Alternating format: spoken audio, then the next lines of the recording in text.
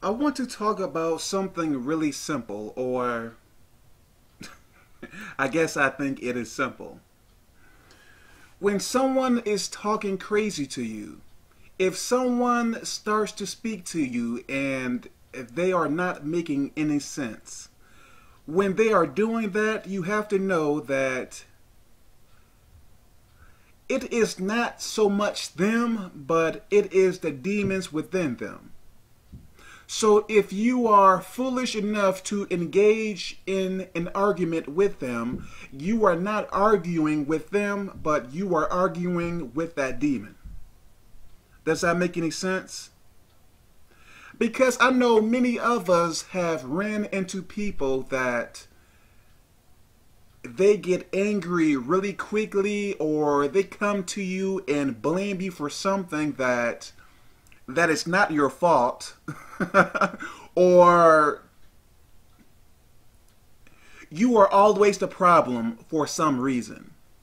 When you run into people like that, you have to know that it is demons within them that is fighting against you. So by knowing that, what shall you do? Sometimes the best thing to do is to not say anything and walk away. Even when you do want to say something, don't say anything. Because, listen, does a demon care if you are right? No. Does a demon care if that particular issue is not your fault? Demons don't care what they want. They want to create chaos. So when someone makes a silly comment to you, ignore it. Why get angry and make a fuss about it? You are just wasting your time. Once that person get their mind right and come to God, surely they are going to apologize because God is going to bring it to their memory.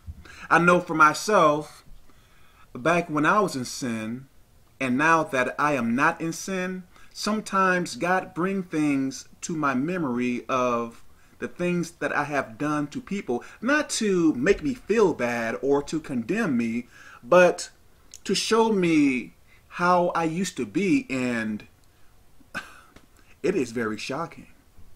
I never thought that I was that wicked, that mean, that rude, that selfish. But the closer you get to God, the more that you are going to learn about yourself.